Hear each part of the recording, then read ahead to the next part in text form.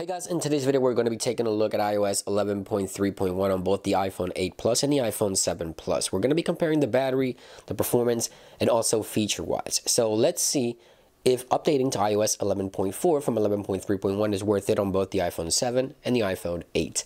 Now, I did a video yesterday on the iPhone 5S and the iPhone SE. If you haven't watched that, links in description. Let's begin. Now, first I want to talk about the iPhone 7 Plus. Now, when it comes to features, the iPhone 7 Plus is fully packed with some of the latest features for iOS 11.4.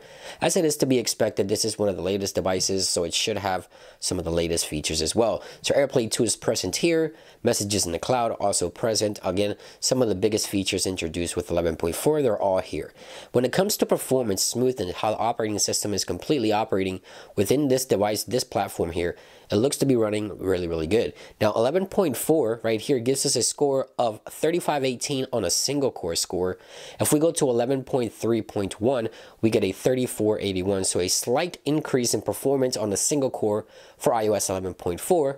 However, 11.4 did lower the performance with 5961 on the multi-core score. 11.3.1 increased just a little bit with 5979. So nothing that you're going to notice. The operating system is feeling really, really smooth. The only key difference here is that iOS 11.4 will gives us a lot of new features and improvements in security and a lot of stability as well. Now let's talk about the iPhone 8. Now there's only one complaint of one single bug that I've been having with the latest 11.4 on the iPhone 8 and also the iPhone 10 as well. That is that the network connection will be lost for a few seconds. So if I launch the App Store, I'm connected to Wi-Fi or data, it still says I'm not connected to anything. It'll take some time to actually load. It's slower on network connections. And that's going to be the iPhone 8 and the iPhone 10 for me. None of the older devices I've been experiencing this, only on the newer platforms, the 8 and the 10. So anyway, in regards to performance on how the operating system is running, how it's launching apps and everything in terms of features, it's here. It's running good. AirPlay 2, messages in the cloud, all that stuff. Of course, is going to be here with the iPhone 8. There's only that one little minor complaint with the network connection.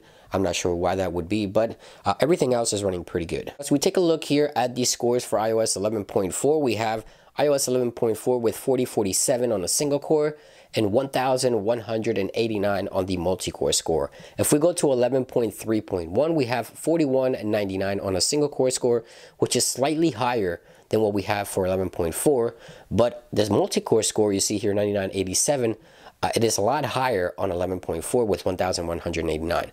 But again, the software is running pretty smooth. Everything looks to be good. The only issue that I've experienced is that network connection issue where some apps wouldn't recognize that the network is actually connected. But other than that, it looks like everything's flowing pretty good. Now let's go and take a look at the battery on both of these platforms. First, let's take a look at iOS 11.3.1. The iPhone 7 Plus is on the left. The iPhone 8 Plus is on the right. 11.3.1, the iPhone 7 Plus died at 4 hours and 35 minutes. The iPhone 8 Plus died at 5 hours and 40 minutes. Now taking a look at 11.4, the iPhone 7 Plus, again on the left, the iPhone 8 Plus is going to be on the right. 11.4 iPhone 7 Plus, 4 hours and 40 minutes of on-screen time, really pretty much the same as iOS 11.3.1, and the iPhone 8 Plus, 5 hours and 40 minutes, identical to iOS 11.3.1 as well. So in regards to performance, batteries, and features, we do get a lot more with iOS 11.4 on both the iPhone 7 and the iPhone 8. So both of these devices perform pretty much identical in regards to battery performance, which is good. 11.3.1 has really good battery life. And also features, we get all the new features in here.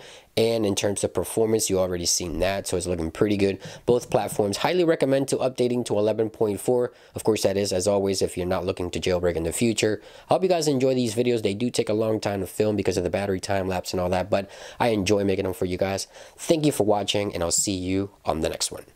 Peace.